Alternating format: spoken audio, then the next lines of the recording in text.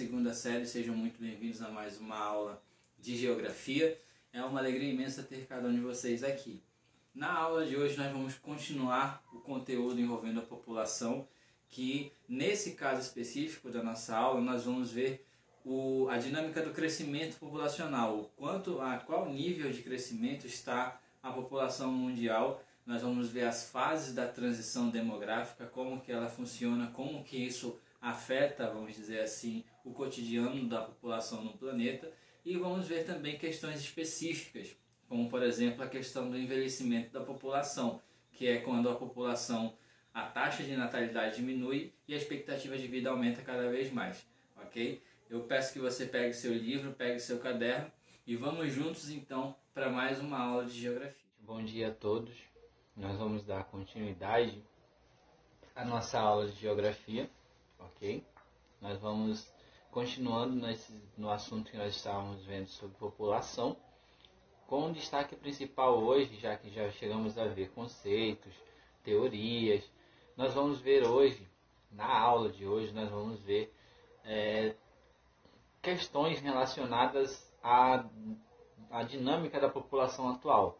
Né? Nós já sabemos algumas informações importantes sobre a população nos dias de hoje, e nós vamos ver então, nesse caso, alguns dos desafios que o crescimento populacional de hoje ele vai aparecer, eles vai surgindo, eles vão surgindo para gerações futuras. Né? Nós vamos ver algumas tendências e também depois vamos ver quais seriam os desafios que iriam aparecer de acordo com essas tendências é, da população, vamos dizer assim, ok? Antes de mais nada, vamos fazer uma breve recapitulação, né? Tipo, falando sobre o que é a população, o conceito de população nós chegamos a ver, né? O aglomerado de pessoas, que pode ser uma população relativa ou absoluta. É, vimos alguns indicadores, como por exemplo a taxa de natalidade e a taxa de mortalidade. Na aula anterior, chegamos a ver sobre o que se trataria a expectativa de vida, né, que é basicamente o tempo que uma pessoa ela tem de vida em determinado país, determinada localidade. Vimos como que é essa expectativa de vida aqui no Brasil, né? E também chegamos a ver alguns instrumentos utilizados para é, a aferição, para a contagem dessa população, para mostrar como que é um perfil populacional de um país, de uma cidade, de uma região que são as pirâmides etárias. Né? Essas pirâmides basicamente se constituem em gráficos onde vão ficar de um lado a questão da, do gênero da pessoa, ou masculino ou feminino, e levando em consideração fileiras de idades, né? começando desde 0 a 5 anos e indo até acima de 70 a 80 anos. Né? Através da configuração dessas pirâmides, nós podemos perceber algumas coisas relacionadas à população ali. Né? Por exemplo, quando uma pirâmide ela está com a base, vamos dizer, mais é, forte, vamos dizer, mais é, destacada, nós vemos ali que a taxa de fecundidade ela é relativamente alta em relação aos demais. Né? É, quando a pirâmide ela está com o meio dela, vamos dizer assim, mais é, concentrado, aí nós vamos dizer que ela está passando por um processo de transição demográfica, que nós vamos ver um pouco melhor na aula de hoje, ok? E quando ela, nós percebemos que a pirâmide ela está com o topo, né, mais é, destacado, vamos dizer assim, nós vamos ver que essa população ela já está enfrentando o desafio do envelhecimento é, populacional, né? Pirâmides com a base um pouco mais destacada, vamos dizer assim, elas fazem referência, em via de regra, elas são representativas de países subdesenvolvidos, né? Países subdesenvolvidos, países ali os considerados países pobres, né? Pirâmides com o meio achatado já são aqueles países que são em desenvolvimento ou alguns países desenvolvidos, né? E as pirâmides é, com o topo mais achatado, vamos dizer assim, já são aqueles países altamente desenvolvidos, como é o caso, por exemplo, da França. Né? A França é um exemplo e vai ser exemplo até na aula de hoje, quando nós formos falar sobre a questão do desafio do envelhecimento populacional, sobre a questão do, das fases da transição populacional. A França ela é um exemplo muito utilizado quando nós tratamos de conteúdos e de temas envolvendo população, demografia, porque a configuração atual da população ela é muito significativa e nós vamos ver isso com mais detalhes mais adiante, ok? E finalizamos a aula passada vendo a questão das teorias demográficas, que foram estudos relacionados à população, de uma forma de compreender como que essa população chegou aos níveis que chegou na época, vamos dizer, e até mesmo nos dias de hoje. Né? Chegamos a ver que, naturalmente, nós tínhamos três grandes tipos de teorias demográficas, né? a teoria malthusiana, a neomalthusiana e a reformista. Tanto a malthusiana quanto a neomalthusiana tinham um ponto de vista igual, parecido, vamos dizer assim, que era que a população crescia de uma forma mais acelerada que a produção de alimentos. E isso acarretaria em problemas sérios de abastecimento caso não houvesse alguma coisa a ser feita. Né? Vamos dizer que a teoria malthusiana ela é um tanto quanto radical, mais radical que a neomalthusiana. Né? Porque os, o, o, idealizador da teoria original, Thomas Malthus, ele dizia que era às vezes necessário haver um grande, uma grande situação, um grande problema, né? uma guerra, um, uma epidemia, para que se fosse necessário eliminar metade da população, né? para que assim pudesse haver um equilíbrio é, de abastecimento para a população. Se caso nada fosse feito, a população crescesse do jeito que ela crescia, cedo ou tarde o planeta não iria dar conta de tantas pessoas e o mundo iria enfrentar uma crise de abastecimento. Né? Muito se critica Malthus por conta dele não ter levado em consideração que a teoria dele era no século XVII e, obviamente, as tecnologias futuras iriam equacionar essa dificuldade de não ter tanto que produzir. Né? E foi comprovado isso. Depois nós temos a teoria neomalthusiana, que também tem essa ideia da população crescer mais rápido do que a oferta de alimentos, só que a medida eles já davam logo de cara. Eles eram os grandes apoiadores dos métodos contraceptivos e do planejamento familiar. Né? Métodos contraceptivos, anticoncepcionais, preservativos. Tudo isso era utilizado de modo que pudesse haver uma, um, um, um refreio, vamos dizer assim, uma, um controle da natalidade. Né? E também a questão do planejamento familiar. As pessoas teriam um, dois filhos no máximo, vamos dizer assim, o estímulo a esse planejamento familiar. Ok? E por fim a teoria reformista que ela não via a população, a, a superpopulação como, como uma causa dos problemas da desigualdade, mas ela via a superpopulação como consequência destes problemas. Ela acusava o poder público de negligenciar essas populações não dando a elas acesso a serviços essenciais. E com isso, essas populações abandonadas elas tendiam a se multiplicar e o problema da superpopulação era mais evidente, vamos dizer assim. Ok?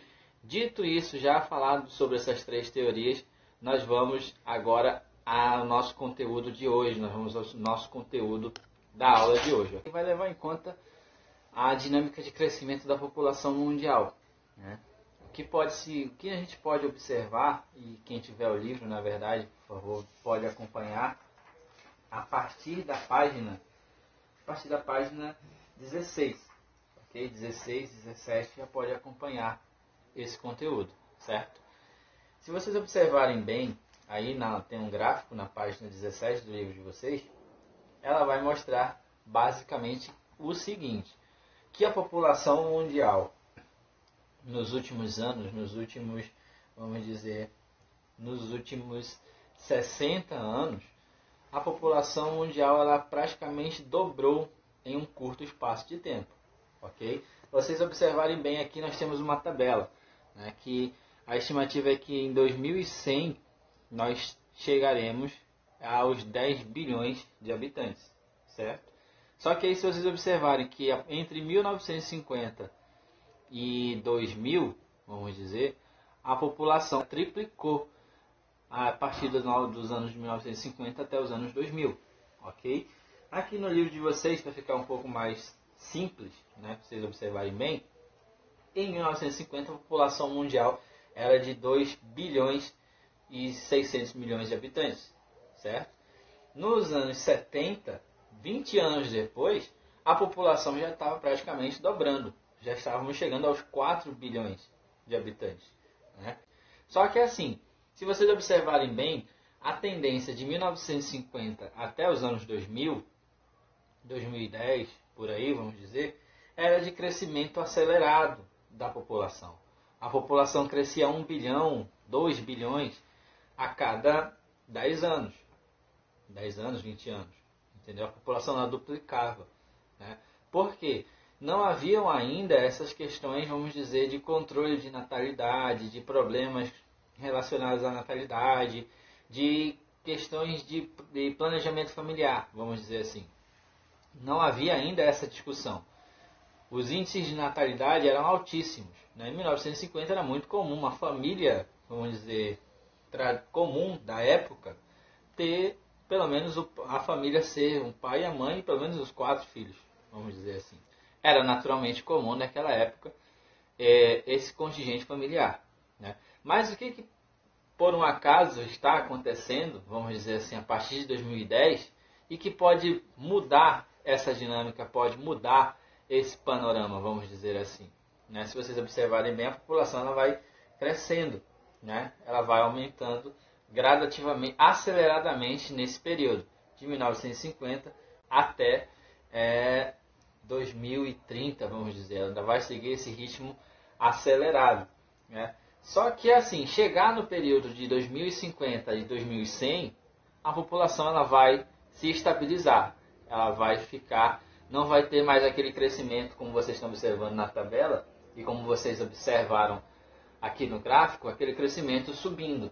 Não vai ser mais aquilo. Vamos dizer que ele chegou no topo da montanha. Ele chegou no topo da montanha e parou ali. Ok? Basicamente isso. O que, que então pode acontecer a partir desses anos seguintes? O que, que vai acontecer então? Vamos supor que aconteça que chegamos nessa época que chegamos nesse contingente. O que, que vai acontecer depois? Aí nós vamos enfrentar o que é a chamada transição demográfica. Né? que é o freamento dessa taxa de duplicação. A população não vai crescer mais de forma dobrada, vamos dizer, ao longo do tempo. Né? E o que, que vai mudar, vamos dizer, o que, que, o que, que vai ser decisivo, vamos dizer assim, para que isso acontecesse? Né? Alguns estudiosos da população elaboraram um gráfico de fases, explicando bem detalhadamente cada, o passo a passo dessa transição desde a, o aumento exponencial que nós estamos vivendo até a diminuição gradativa que provavelmente possa acontecer devido a inúmeras circunstâncias, ok? Vamos observar aqui então, basicamente como que é esse gráfico. É diferente para nós aqui, para nós que temos o livro, a imagem que eu selecionei, ela é um tanto quanto diferente, vamos dizer, da imagem que está no livro de vocês. Mas os conteúdos é a mesma, tem o mesmo objetivo entendeu? Os enunciados que estão aqui na página 18 do livro de vocês, quem estiver acompanhando com o livro, basicamente são as mesmas coisas. Então vamos acompanhando aqui cada passo né, dessas fases da transição demográfica, para a gente entender melhor o porquê que vai haver isso e, e se em algum lugar já está acontecendo isso, se no Brasil corre-se o risco também disso acontecer. Nós vamos verificando aí cada etapa. Ok? Vamos lá, estamos observando aí então cada um dos quatro estágios. Né? Temos aí o primeiro estágio, né? temos também é, o, que é de expansão. O primeiro e o segundo estágio, eles são estágios de expansão, vamos dizer assim. Enquanto que o terceiro estágio e o quarto estágio já são uma mudança drástica. No terceiro estágio ele está, vamos dizer, estagnando, e no quarto estágio já está havendo a diminuição, o nivelamento, vamos dizer assim. Né? Acompanhando aqui o primeiro estágio, se vocês observarem bem, a fase 1, aqui do livro de vocês e aqui no, no gráfico, ele vai mostrar uma alta taxa de natalidade né? e também uma, vamos dizer, uma queda, uma alta taxa de mortalidade. A expectativa ali vai ser muito baixa. Né? a população ela vai crescer, vai haver uma taxa de fecundidade gigantesca, mas que não vai estar equacionada, porque ao mesmo tempo a taxa de mortalidade nessas regiões e a expectativa de vida elas caminham lado a lado, a taxa de mortalidade lá em cima e a expectativa de vida muito mais embaixo. Vamos dizer que se nós observarmos todos os países do mundo hoje, Nós não temos nenhum caso mais nesse, nesse, nessa fase da, do, do, da transição demográfica desde Ruanda, em 1990. O que, que aconteceu naquela região? Aquela região ela viveu uma guerra civil muito sangrenta. Né? O, fica localizada ali no centro-sul da África, vamos dizer assim, e ela viveu uma guerra civil muito sangrenta, onde milhões de pessoas morreram, é, seja em combate, assassinadas ou depois por consequências da guerra, fome, desnutrição, entre outras coisas. Né? A taxa de mortalidade ali foi altíssima por conta dessa questão da guerra, enquanto que a taxa de natalidade também foi, mas não era suficientemente alta para compensar o tanto de mortalidade. Né? Se nós observarmos bem, essa dinâmica tão brusca, vamos dizer, entre natalidade alta e mortalidade alta, é basicamente o resultado de um país, a característica básica de um país que está em guerra. Professor, existe outro país que possa estar assim em guerra? Não tem a Síria em guerra ou o Afeganistão em guerra? Eles ainda não chegaram nesse nível, entendeu? A Síria, por exemplo, ainda não chegou nesse nível.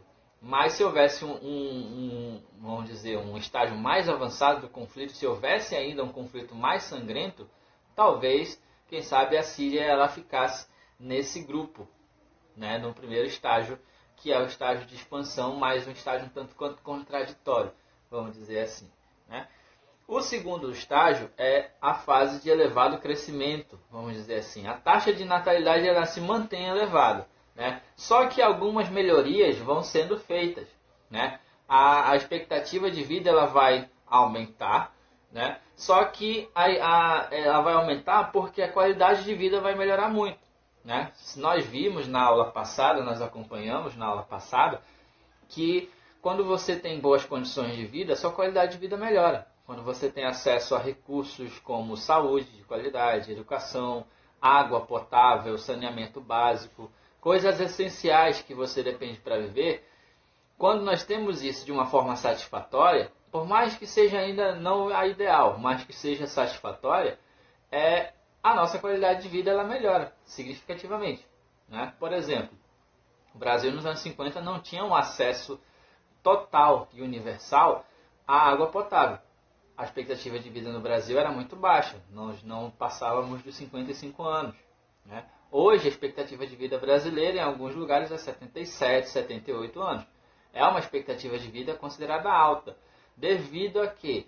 Devido ao acesso da ampla maioria da população brasileira a recursos básicos, como água potável, né? alguns lugares já contam com saneamento básico razoável, né? a saúde, a cobertura de saúde hoje é basicamente total no território brasileiro, com algumas exceções. Isso tudo auxilia a você ter uma qualidade de vida razoável. Né? E assim, vamos dizer que as pessoas elas vão começando a ter uma longevidade um tanto quanto significativa e a mortalidade vai caindo. Né? Não há guerras, não há nada tão drástico que possa, digamos que, alterar as taxas de mortalidade. Né? E aí vamos dizer que já vai haver ainda um processo de expansão, um processo de elevação na taxa de natalidade, de crescimento, mas já de uma forma mais é, significativamente desacelerada ok? Na terceira etapa, vamos dizer, na terceira etapa nós vamos ter uma redução significativa na taxa de natalidade, a taxa de nascimentos, vamos dizer, ela vai reduzir um pouco, né? A mortalidade também vai continuar em queda, ela já estava em queda na fase 2. Na fase 3 ela permanece em queda, né? E as pessoas vão começar a viver muito mais do que já viviam na fase 2. Entendeu? Na fase 2, eles viviam um pouco mais além da média, vamos dizer que passavam dos 50 anos, dos 60 anos. Na fase 3, elas já vão conseguir chegar a 70, 71 anos, 69 anos, entendeu? O que já é um avanço bastante significativo. E com menos natalidade e menos mortalidade, as populações adulta e idosas vão começar a ganhar um pouco mais de destaque, entendeu? Vamos dizer assim. É, elas vão começar a ganhar um pouco mais de destaque nesse crescimento. E aí nós vamos observar que vai haver aquele inchaço na parte do meio, se nós formos pegar uma pirâmide etária, né? nessa fase 3 da transição demográfica. ok? Países que estão nesse patamar que a gente pode observar, observem aqui na página 18 do livro de vocês. Países que estão nesse patamar, nós podemos dizer a Índia, o Brasil e o Bangladesh. Né? Ainda assim, a população é elevada. A taxa de natalidade da Índia ainda é alta, mas não tão alta quanto antes. Né? O Brasil também tem uma taxa relativamente alta, mas não tão alta quanto antes. Né? Ela ainda vai continuar tendo um aumento significativo da população, mas é, não vai ser mais tão grande como na fase 2, por conta de introdução ao planejamento familiar, de introdução a medidas de uso de anticoncepcionais, de contraceptivos, né? a população ela vai mudando essa mentalidade e vai optando por ter menos filhos também, e isso vai afetar significativamente, ok? E aí chegamos então na fase 4, né, que é a nivelação populacional. Né? Na fase 4, nós vamos ter tanto natalidade quanto mortalidade muito baixas, no mesmo nível, vamos dizer assim, e a expectativa de vida vai ser muito alta.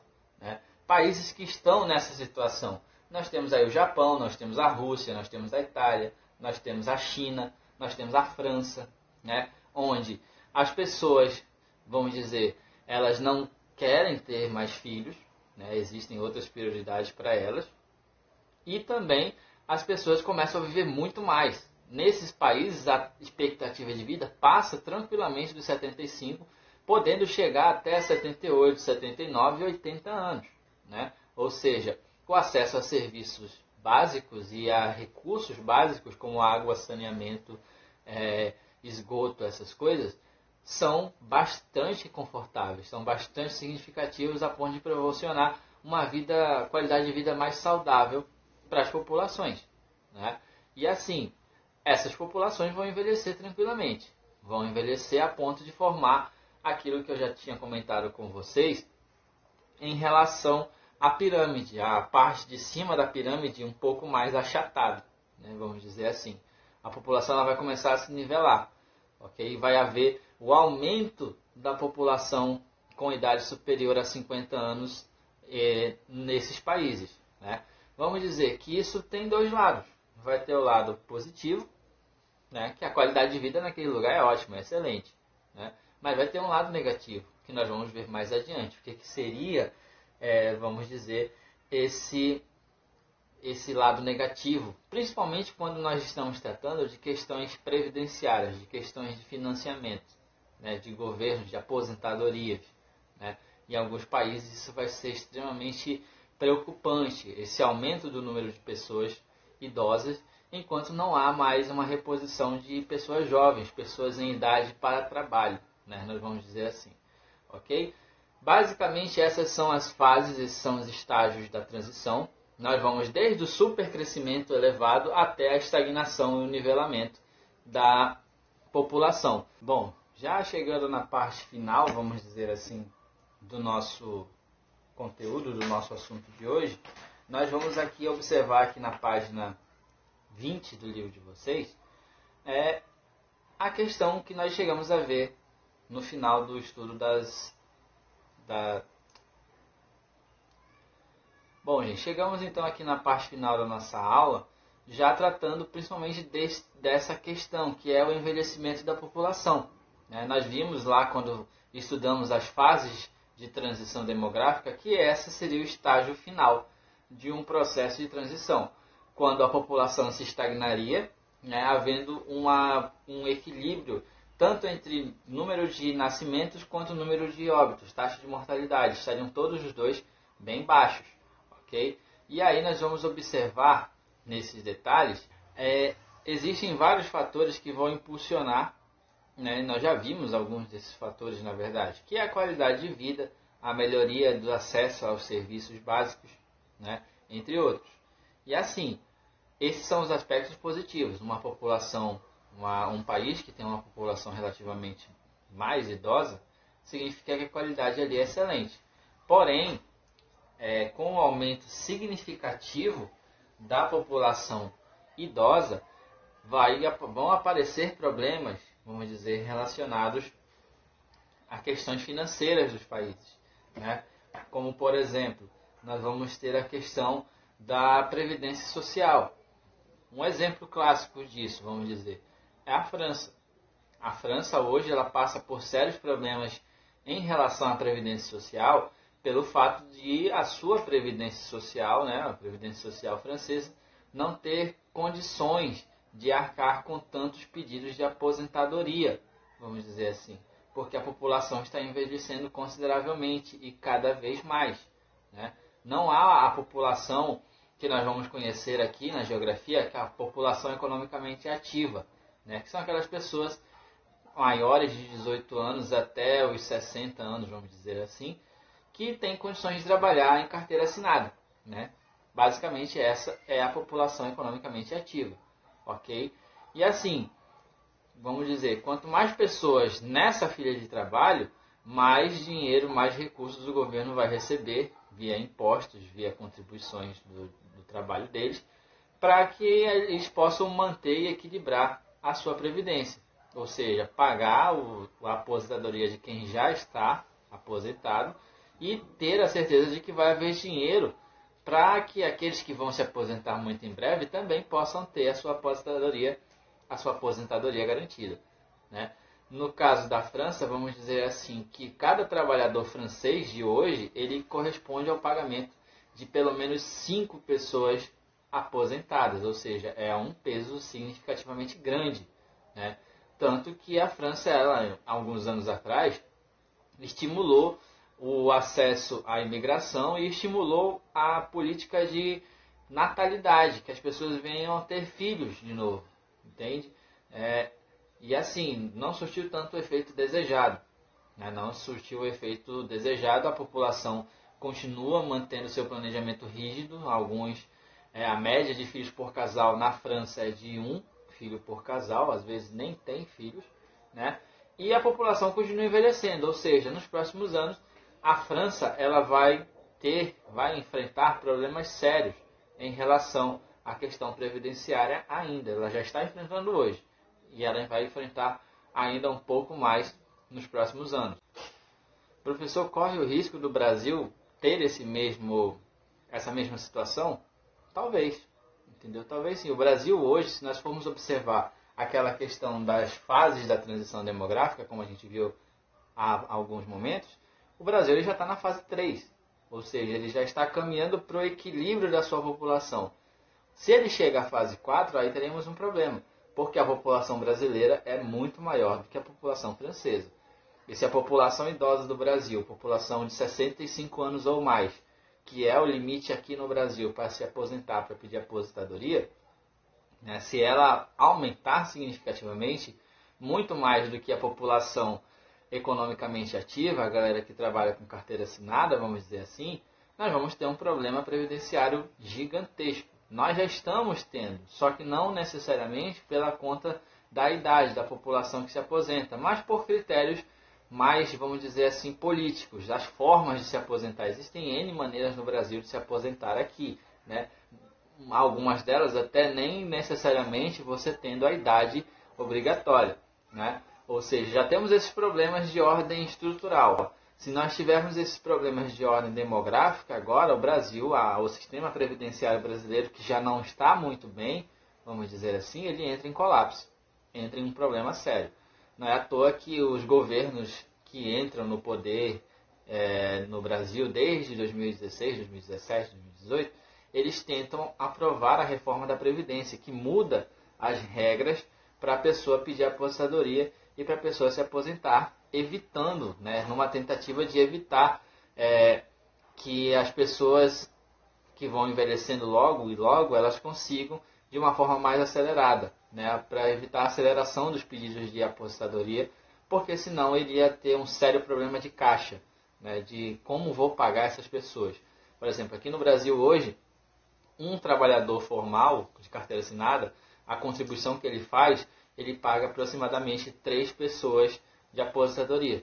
Né? Se a medida fosse continuando, se o, a, o envelhecimento aqui fosse no mesmo estilo da França, vamos dizer, cada um brasileiro trabalhador por carteira assinada iria pagar aproximadamente seis aposentadorias, incluindo a dele. Né? Ou seja, iria ficar insustentável a situação.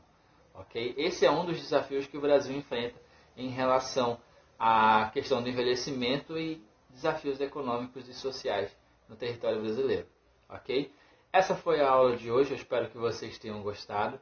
Qualquer coisa, qualquer dúvida que vocês venham a ter, vocês podem me procurar, que eu vou ajudar vocês a esclarecer alguma coisa que vocês não conseguiram compreender direito, ou na atividade que vai ser enviada para vocês, ok? No mais é isso, gente. Espero que todos vocês fiquem bem. Um forte abraço a todos e até a nossa próxima aula.